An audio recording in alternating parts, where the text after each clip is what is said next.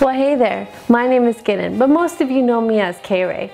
Now, a lot of you have been messaging me telling me how funny I am, and I've decided to take your advice.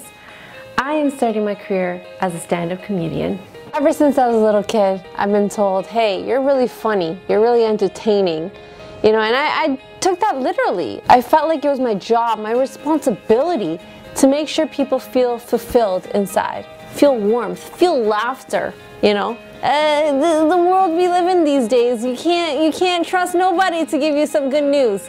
You know, you gotta do it for yourself, and that's what I'm here for. So ex-boyfriends, so your mother, so funerals, so funerals? Dead people, I see dead people. So people think that we talk like a this. So racism.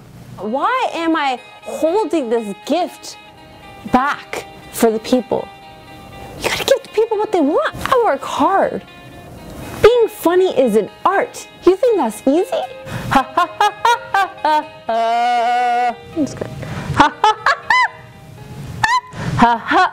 How do you feel about your daughter becoming a comedian? I didn't know she was going to be a comedian. Well, I mean, yeah.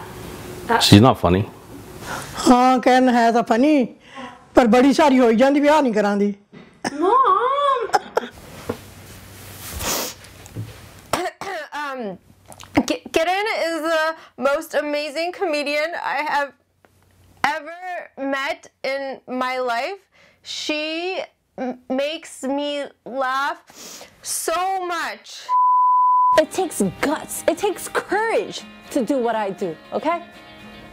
Right? Uh, some babies, am I right, folks? What's up with them? So yesterday I was at the hospital.